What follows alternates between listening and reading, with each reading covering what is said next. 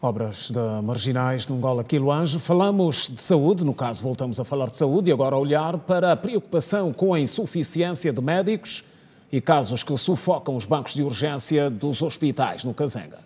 Uma zona de Luanda que conta apenas com 40 médicos distribuídos pelas 15 unidades hospitalares para responder à demanda. Segundo as autoridades, a média necessária de médicos seria de 200.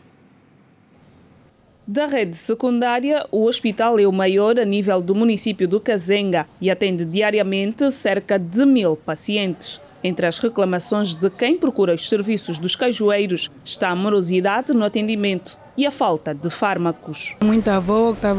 Tá vendo? As pessoas ficam assim, mesmo doente, não está conseguindo, mas que mais as voltas que fazem já é que a pessoa pode acontecer outras coisas, tem que melhorar mesmo nessa parte. As condições normalmente são, são, são, são boas, são razoáveis.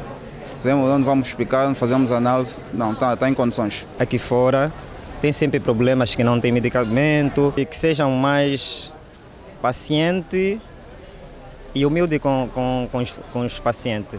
Porque não, não, não, não é fácil, nós estamos no hospital, nós somos os doentes.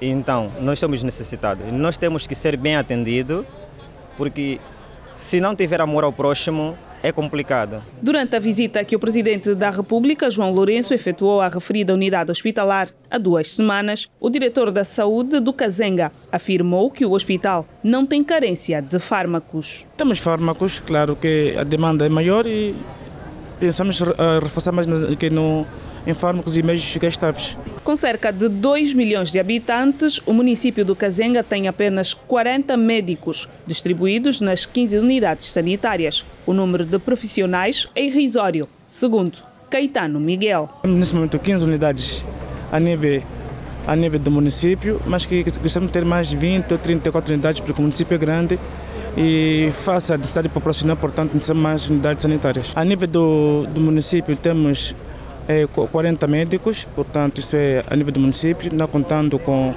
com a rede que, onde nós estamos no Hospital Geral, e precisamos mais, mais recursos humanos, portanto, estamos a falar de de mais ou menos 200 tal médicos. Os Cajueiros, maior hospital do Cazenga, atende pacientes dos municípios adjacentes e está a mercê de obras de melhoria e ampliação. Numa primeira fase, o bloco operatório e a área de cuidados intermédios.